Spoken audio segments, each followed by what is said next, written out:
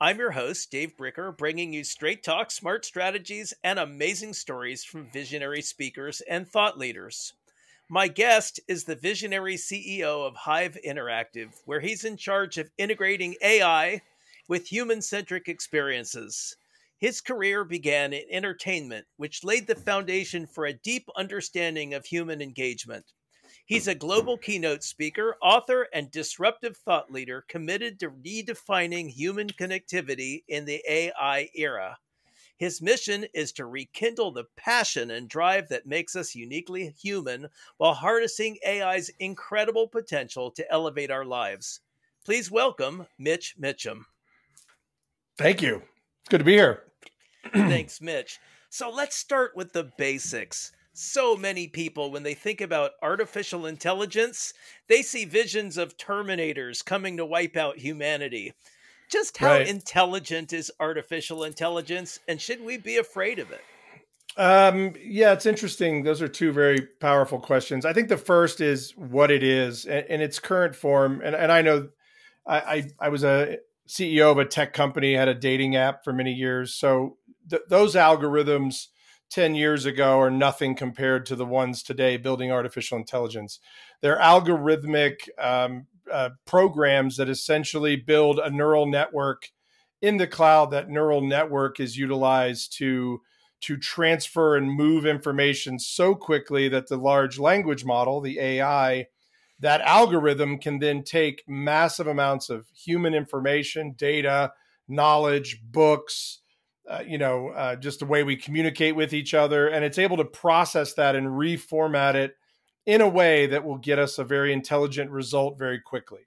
So, so that intelligence has been worked on for many decades. And now, uh, in the last, you know, two and a half, three years, it's really emerged as a new form of intelligence. Uh, it's, it's able to process information very quickly and get you an answer you need uh, in in milliseconds or seconds. And so so it's incredibly intelligent in that way and it works off of a neural net in the same way your brain might work off of your you know the way your brain is structured. So so in that way it is intelligence. It's you know imagine if you could read a book uh, you know one book if you could read it in three seconds and then tell me how to write an email based on that book and you could write the email within a second that would be a form of intelligence. And if any human could do that, we would argue that's genius level intelligence. Well, ChatGPT or AI in general, you know, Gemini or whatever your model is, it's able to do just that. And so that's where I think it becomes very intelligent. Should we be afraid of it? I think we should be careful about the way humans use it. Uh, by itself, it's not this risky thing in any more sense that a hammer would be risky sitting on your shelf. It's what you do when you pick the hammer up that matters. Are you hanging a picture or breaking a window? And I think for AI, we always talk about at the Hive that AI to us is a tool for augmentation, number one. And number two, we want to always have control. So we want to be in the middle. We want to use it as a tool, bring the content out, put our own human flair on it, and then you know use the AI again possibly. So we like the human in the middle, and so being afraid of it, I think I'm more afraid of what humans do on a daily base with or without AI than I am the actual technology. Well, I love your answer, and I completely agree with you. Anyone who's seen the AI generated responses at the top of a Google search page knows we're all competing with AI. And then after right. the AI results, we see the sponsored results, a sponsored snippet, some similar questions, an academic answer, a selection of videos, and hey, there's my lovingly crafted blog post way down at the bottom. But the right. decision to put AI at the top of the page was a human decision, not an evil AI decision. Some business right. person decided to make that happen. Right. So my question then is is SEO dead? And how do we compete with humans who put AI first? Yeah, it's a great question. And you can answer that question in one interesting way if you just search using an AI tool, like uh, let's use ChatGPT, for example. In the paid version, if we're searching, it's technically using Bing as a search engine at this time although OpenAI is building their own search model. But for right now, it's using Bing. And so what happens is it goes out, grabs the closest answer to what your question entails. However, from what we've been watching, it bypasses paid advertising. So it tends to go for more credibility. So it'll look for reviews, it will look for credible news stories, it'll look for information to get your answer met. And it bypasses the things that can be bought, like like media or like a like an ad. And so in that respect, SEO will have to change over time because you're going to have to lean more heavily on reviews or more heavily on the ways that the AI engines are picking up the information if they're bypassing ads, for example. So, eh, you know, how we rank on a website may be less important to how relevant we are on a website to someone's query or someone's question. And so, so I think that becomes far more relevant. It's also going to put the power and the control of how a person gets information much more in their hands, regardless of where Google or anyone puts AI, let's say at the top of a search. If I'm using an AI tool to search, then it's going about it maybe very differently. And so companies are going to be adjusting to this for a long time because I think we're going to enter an age where credibility, authenticity are going to be far more important to these AI engines than just how clever we are, how much ad space we buy. So I think it's going to change SEO for a long time it really creates a quandary for companies like Google that sell advertising in yeah. search results, sponsored placement in search results, because as more and more people go to AI driven tools, they're going to be bypassing the very product those people are selling. Yeah. I mean, it could happen. And I, and I think, you know, our strategy is changing because of that. We're focusing more on gaining more feedback and more positive uh, you know positive results around how people feel about what we do. I think that's going to have much more traction. It is going to be a changing world though and it's going to change very fast. For example if google can make more money with a paid ai model than they make on advertising that model could go away which will be difficult for the end user for the for the business so i think we're going to have to pay attention to how everything evolves and changes for sure so people are losing their jobs to AI. And again, it's easy for people to think of AI as an evil force that's intent on bringing about our downfall. Now, it, I laugh too, but but this is we run into this sentiment right in our work, and it may replace someone at their job, but there's no more malice in that than there is in a heat wave or a flood or a rip current. If right. you ask the right questions, AI will happily help you compete with it. So, how are attitudes about what AI is and isn't preventing people from getting the full benefits of it? Yeah, I, that's a really good question. I think part of it, it relies on how fearful humans can be. So, the more afraid you are in general, the more you'll see fear in how you interact with these tools versus we see them as augmentation. They make us better, they can make us smarter. We augment our experience, we augment our intelligence with AI. Now, the bigger fear is not will my job be taken by AI? That would be a lot of work. And that would mean a tool would have to be so dynamic and human like that it could literally want your job, take your job, go get your job. Uh, that's not really how the models work. In their current form, I think we're in a golden age of augmented humanity. And I think a person who knows how to use AI could take your job. That's for sure. A person who's really good at using these tools will become far more valuable to an organization than someone who doesn't. So I think that part is seriously uh, something everyone should consider. And that should put an emergency on everyone learning the tools as fast as possible. But oftentimes, as humans, I think, I don't know if you see this, I know I see it. We tend to equate in these arguments, we equate intelligence with malice and uh, like like AI is some evil genius. And so maybe I'll be proven wrong on this, but I don't think intelligence necessarily equals malice or evil intent. I think as a model becomes smarter, it's just becoming more efficient, helps us solve our problems. But I don't know about you. I don't. I don't think of. Uh, I don't think of AI as becoming this this animal that wants to eradicate humanity. I just don't I don't see that intelligence Matter of fact, if you interact with it enough, you learn that it's actually trying to solve problems, not make the problems worse. So I, I don't see that evolving that way, but who knows? Right. But I think it's there's certainly that reaction oh ai is evil i want to stay away from it but i think that there is some real concern that ai is neither good nor evil it does not make value judgments and it again to your point it comes back to what are people going to do with it and a great example is we have some of these image generation AIs. Yeah. And we've got a lot of horny guys out there creating these idealized, sexualized human female images. And I mean, it, don't even want to speculate on what AI is going to do to the porn industry. Mm. But there's this idea of it's not that AI is evil, but it's comes back to your hammer example. What is yep. somebody going to do with that hammer?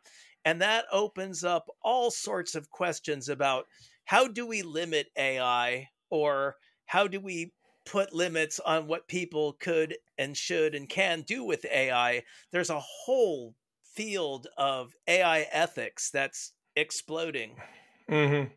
Yeah, I think there is, and and we see it as again. I talk a lot about putting humans first in everything we do. So, to me, I think humans could do bad things with just about anything. I mean, they find ways to be creatively evil. So AI is just another tool for that. I don't think it's any worse or better of a tool than a million other things.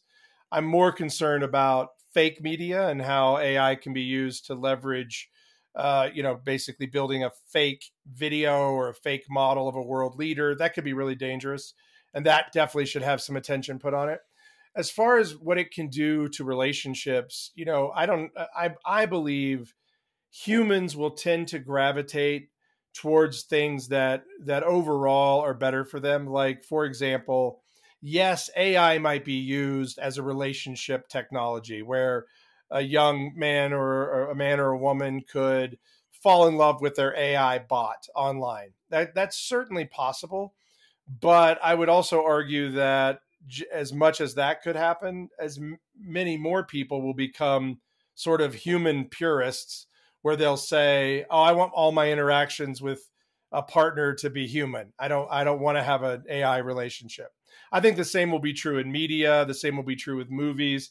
Yes, there will eventually be AI movie blockbusters, but then I think other humans will crave movies only by humans with humans, just for variety and and to have something interesting and, and more human. So I think these things are going to have lots of different gray areas. Certainly, you know that industry or that level of human depravity. Again, I think we could find a million ways to accomplish the same goals. It's just another tool in that drawer versus using it for good. And I think there's more good that comes than than the bad, for well, sure. Uh, I agree with you. You could make the same arguments about GPS and say people are using it to send missiles to precise locations. Sure, sure. And, but it's fantastic uh, when you need to navigate to turn Waze or Google Maps on, and there you go. Your GPS is right. It's, it's pretty magic. So I I like your analysis there. Yeah, and I also think too. You know, if you just think about humanity in general, we're in this age where we kind of do need, especially after the last four years, I think it's time for humans to sort of evolve around how they connect with each other and our relationships. So maybe this will also help in some way. You mean you shouldn't text somebody, I'm breaking up with you? There's an alternative yeah, to that? Yeah, let's put that to an end. Yeah, send your AI avatar to break up with your girlfriend. Right, right. So let's let's talk about content for a moment because hmm. any elementary school student can go to ChatGPT and start a weekly blog on say particle physics. They don't have to know a thing about the topic to produce an eloquent, interesting weekly newsletter. So content in the blink of an eye has become worthless currency. In the information economy, we're seeing massive inflation. So, how do we stand out in the age of AI so we can lead and influence? Is clever the new currency? And can we use AI to amplify our unique human strengths? Yeah, to me, eh, to, to me, I think AI AI is going to always be a writing tool from this day forward. So I think there will be lazy creators that will use it in those terms. However, what your analogy is interesting talking about a young person who maybe tries to write an article about particle physics That's interesting, but it will lack the depth needed to make it more human related. And what I mean by that is it, it takes a breath of experience to know how to apply things in the real world. And so AI doesn't have that mechanism.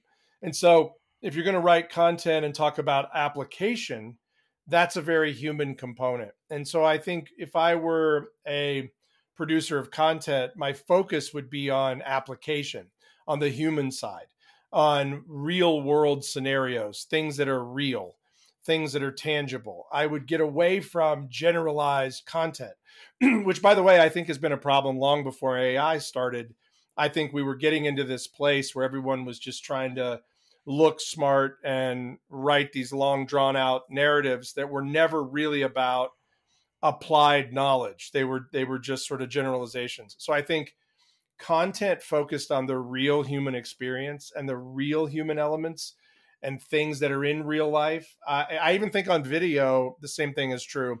There'll be so much fake video that if you're a creator and you're saying you know i you're standing on the fact that your videos are about real things and real people and real content i think that will make a massive difference in how how people relate to your content. I think it'll be hugely uh, differentiating. And by the way if you think about it and you know this probably as well as i do most humans are terrible at being authentic.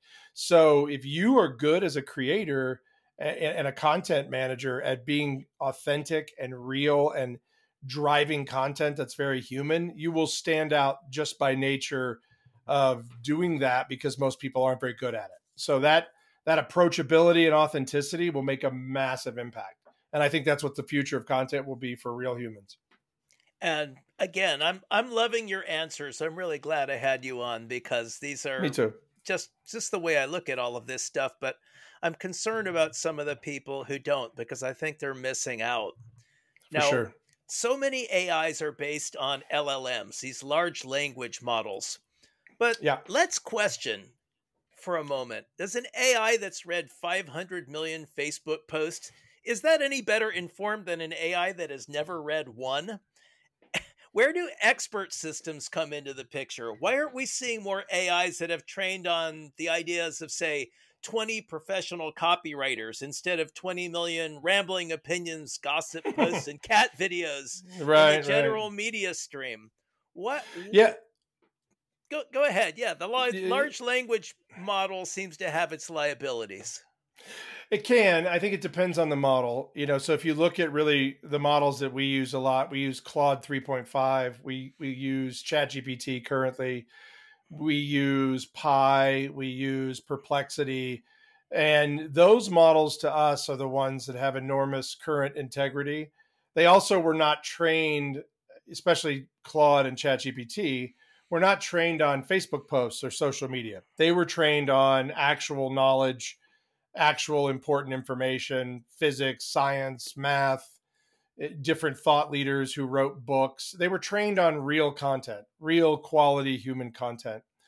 I think that alone starts to formulate how that model responds better. If you look at other models like Grok, which is part of Twitter, if you look at Llama, which is part of uh, Facebook or Meta, uh, and I am not sure if I'm not sure if Llama is trained on Facebook posts. Um, it may be. Certainly, Grok is trained on the totality of the information inside inside of X or Twitter, uh, but I think it's trained on other uh, other content as well but you can see the difference in the models. Uh, ChatGPT is not a sarcastic model. It's not. It doesn't have any.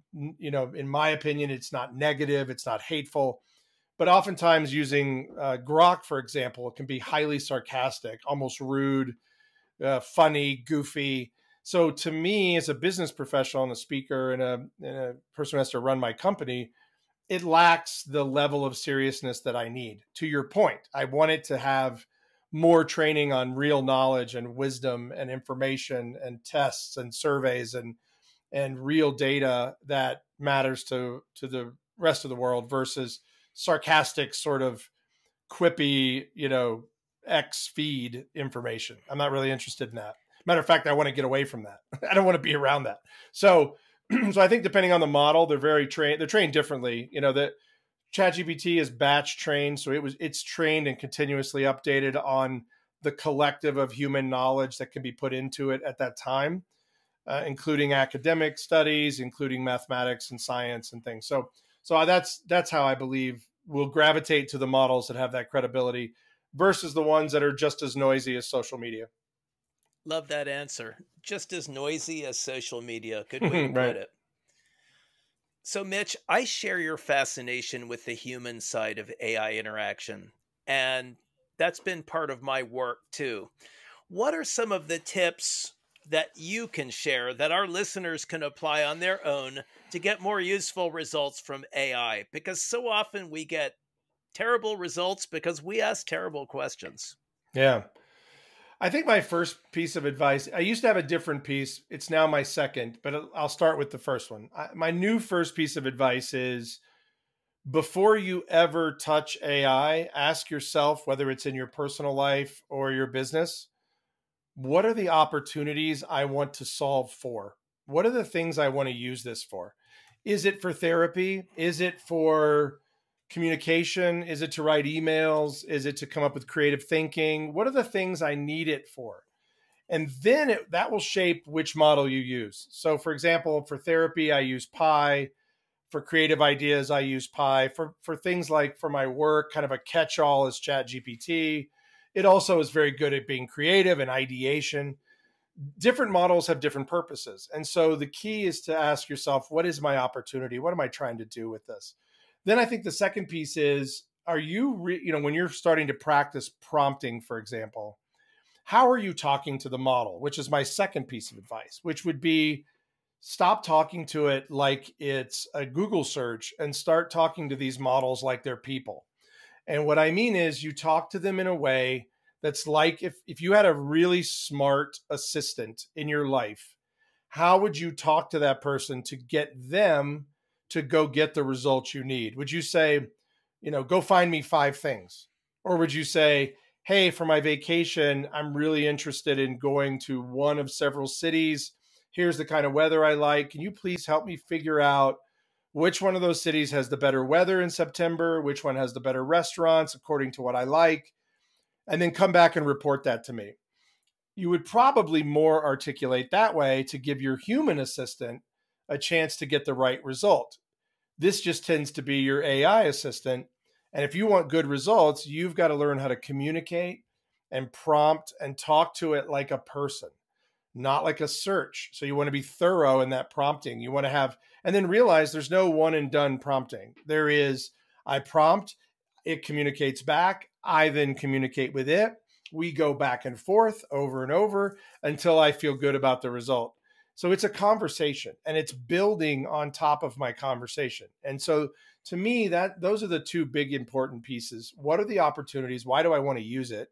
And then am I talking to it like a person because that's going to give me the best result. And then I think the third piece is, you know, am I am I trying to prove it wrong or am I trying to let it teach me? And that's a big problem because when I see people that are like, oh, see, it's not as smart as I thought it was, they're trying to prove it's not as smart and they're wasting their time because it's probably their prompting that's causing the problem.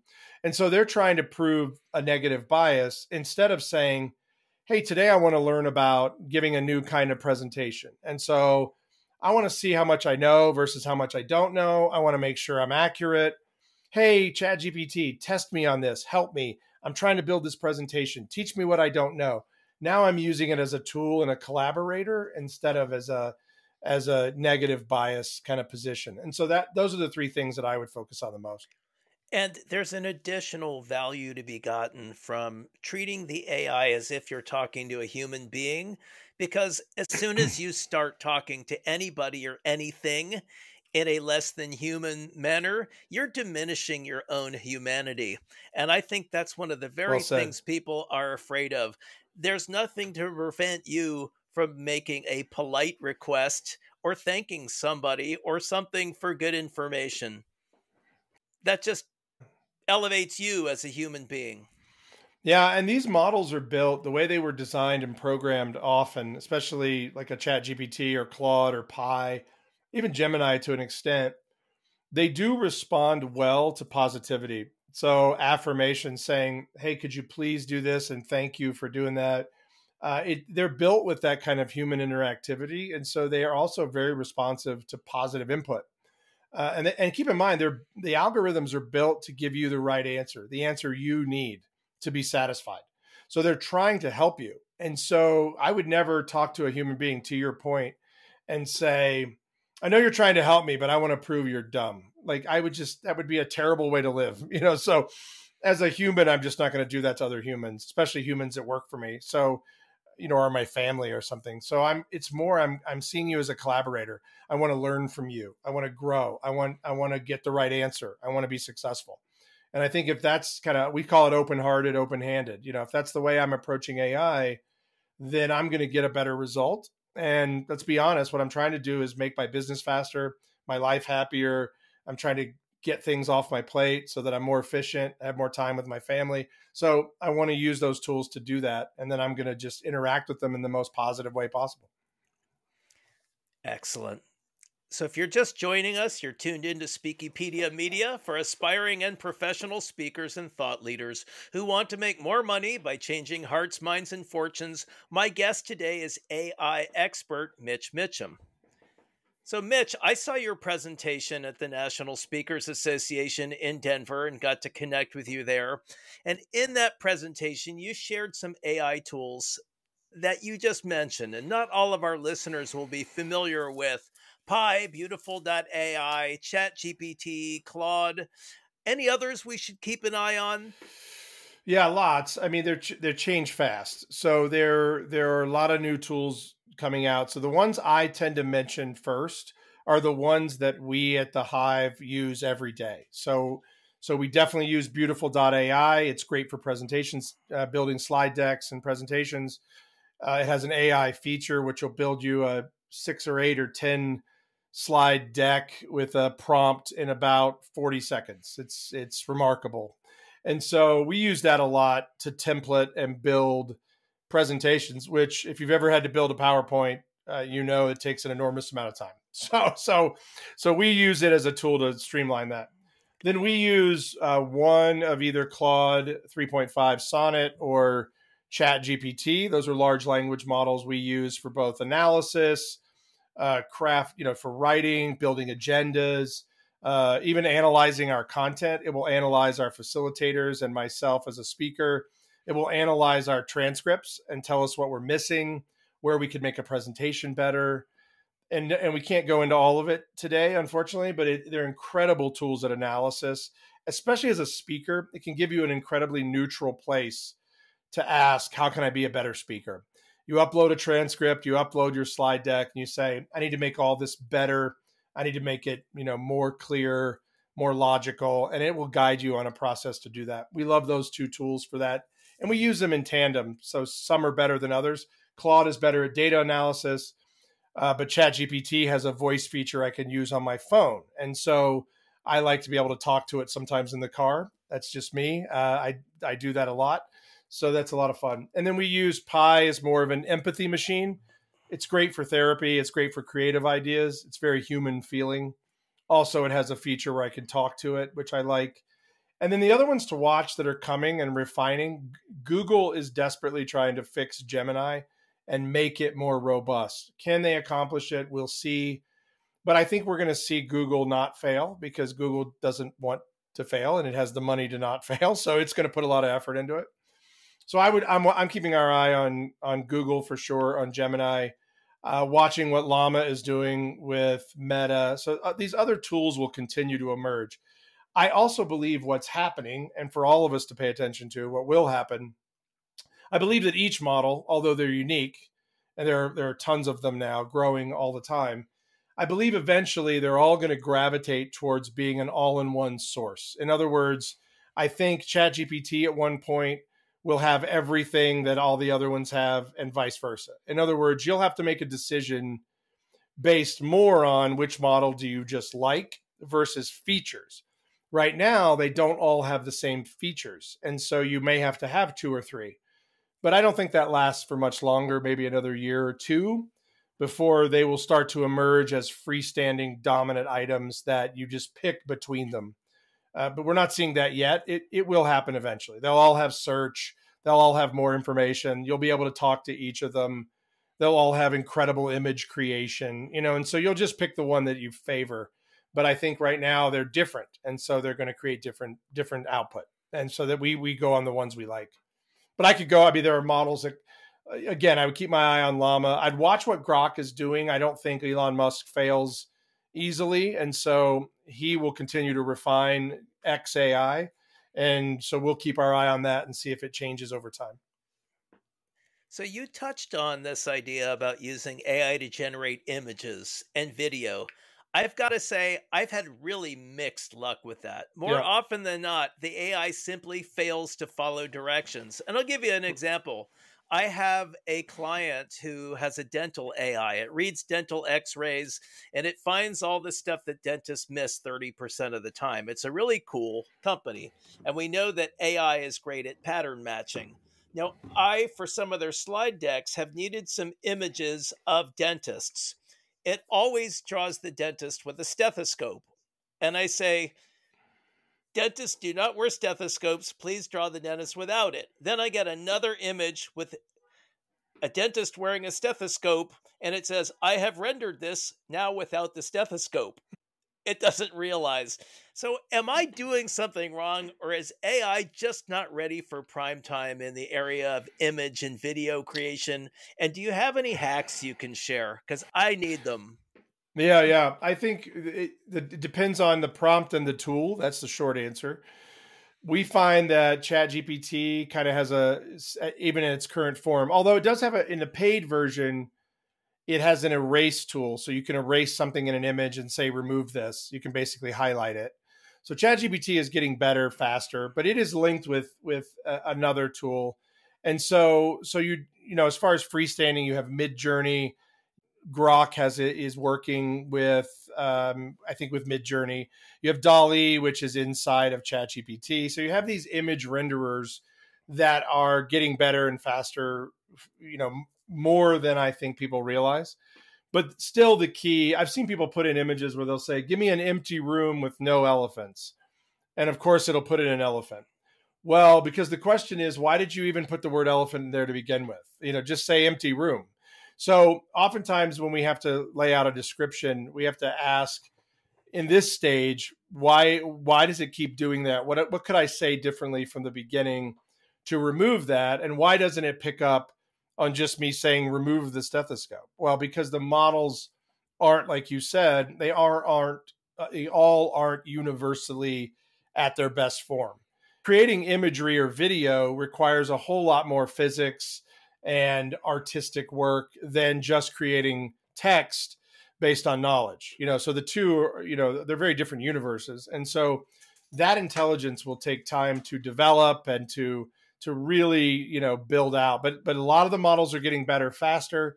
A lot of the video models like flux are incredible now. And yet you still have to be kind of a programming minded person to get it right once we get to the stage where you and I can just put it on our phone and say, show me a dentist, an image of a dentist, uh, and it gets it perfectly right because it has all that knowledge, that day is coming. I just think right now those models are still being, you know, built on and iterated and changed. Yeah. The funny thing is, I was able to take the image I got, put it into Photoshop, and use its AI, use Firefly to say, outline that and say, get rid of the stethoscope. Right. So I ended right. up with an image I could use, but I'm using AI to fix AI. It's kind of a funny thing.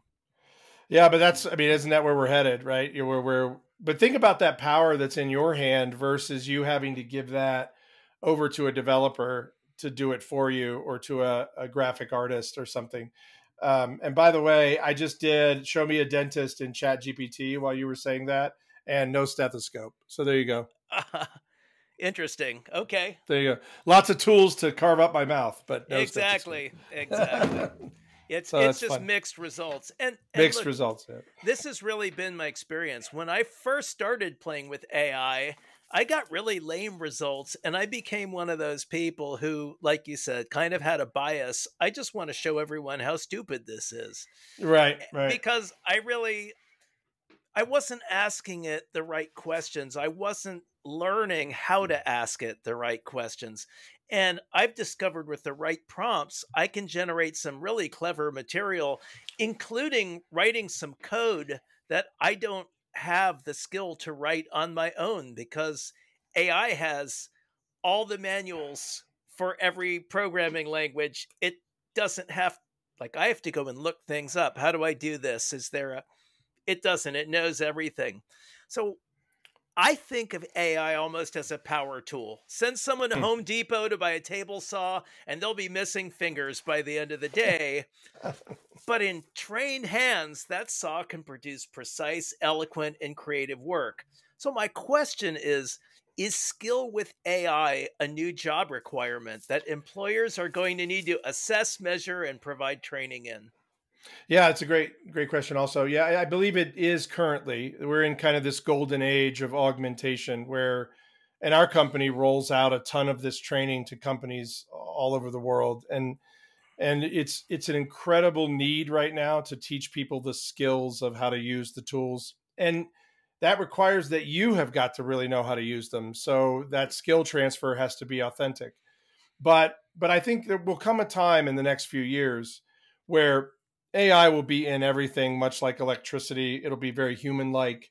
We'll be interacting with it in a very different way. And so I think for now, at least for the next four or five years, we're going to have to really get good at interfacing with it. And then eventually it will evolve past that point where it interfaces with us better.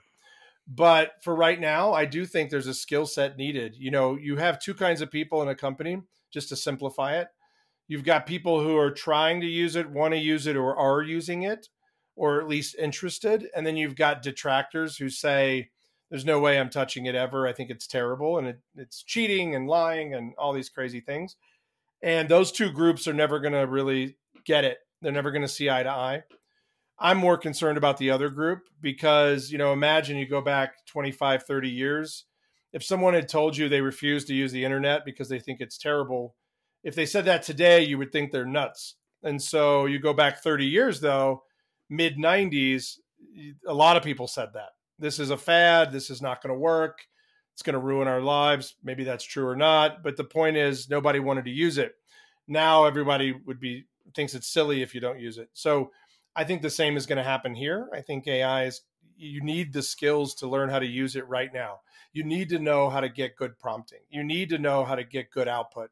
You need to master those skills as fast as you can because the person next to you who doesn't want to do that, you have a huge advantage over them. And especially if you're on your own, you know, if you're a speaker, you run your own business, not knowing these tools will be a massive disadvantage around your marketplace for the people who do know it. And so the good news is you're not really behind. Everyone's trying to learn the tools. So it's not like you've lost decades of time.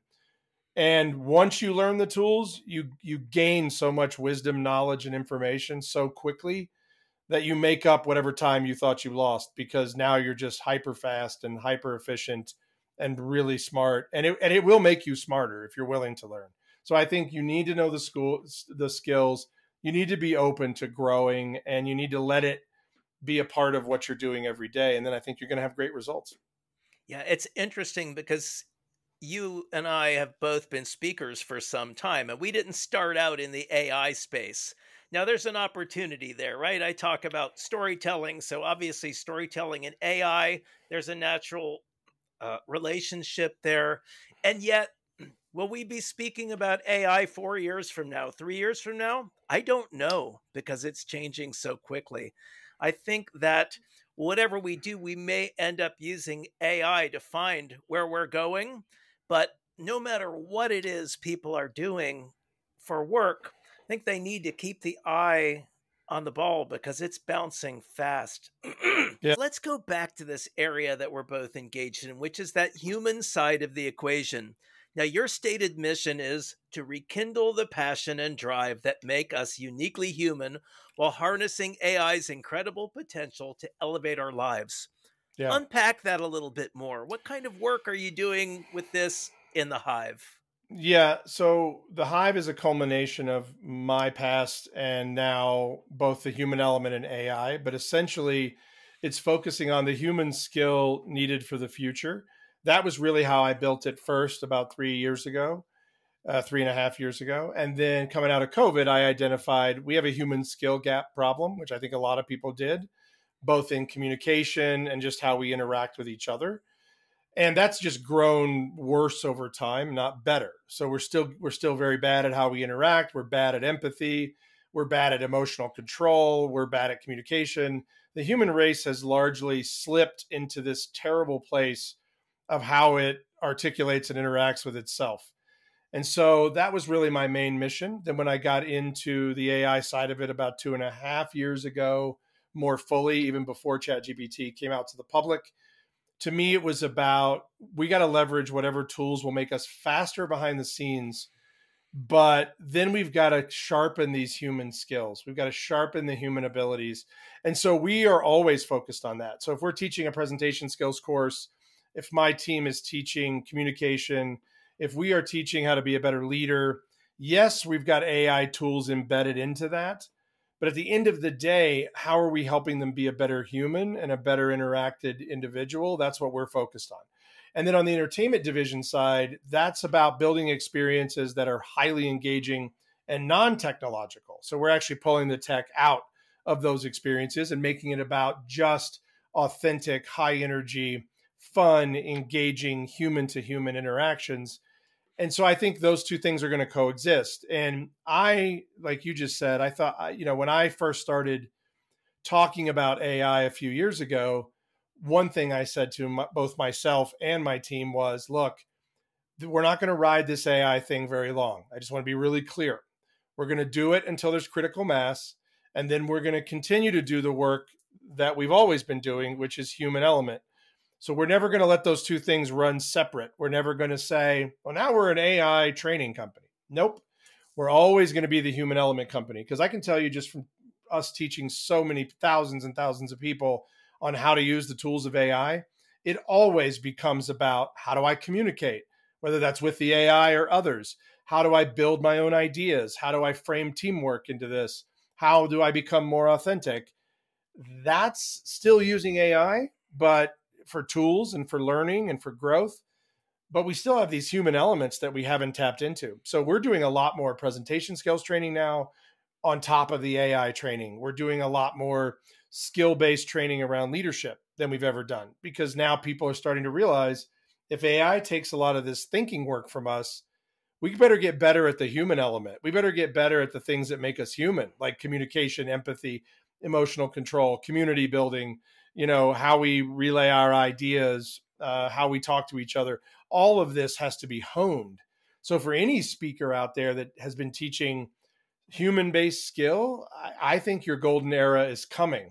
I think there's a whole new era of need that has never been expressed especially with younger people who want authenticity and want to communicate better. So i think there's a golden age coming for human skill. And so we're going to need a lot of people out there on the battlefront teaching those skills. So I'm glad you're doing it. I'm glad others are doing it.